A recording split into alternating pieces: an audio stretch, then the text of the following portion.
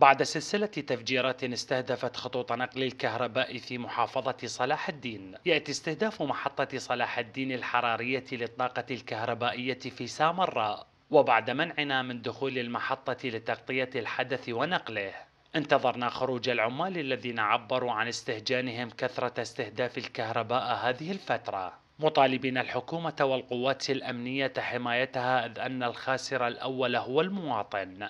يوم محطة يوم الأبراج مفجورة كهرباء ماكو. يعني شنو النية؟ إلى متى؟ أجندات خارجية؟ لو أجندات داخلية؟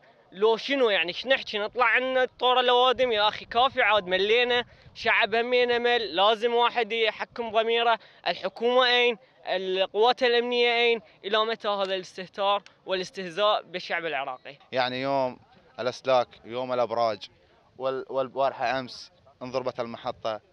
يعني نحن نقول إلى متى يعني وهي كهرباء خادمة يعني البلد وخادمة المناطق. نطالب القوات الأمنية بحماية الأبراج وهاي كلها تأثيرها على المواطن وإحنا اللي نرجوه حماية المنظومات الكهربائية. وحسب ما يراه مراقبون في المحافظة أن هذه التفجيرات وإن لم تكن الأولى ما هي إلا صفقات تجارية سياسية أهدافها أما أن تكون نفعية أو تسقيطية لجهات سياسية معنية وعليه فإن على الحكومة اتخاذ ما يحد من هذه الأعمال التي عدوها إرهابية. نرى نحن كمراقبين أن هذا استهداف ممنهج.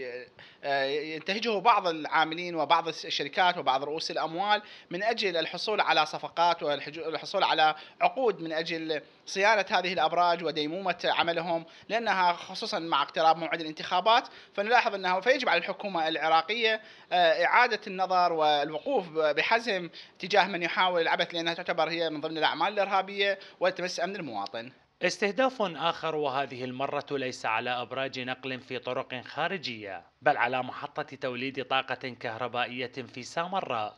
الحال يتكرر ومعاناة المواطن تكبر. من صلاح الدين فراس الحسني التغيير.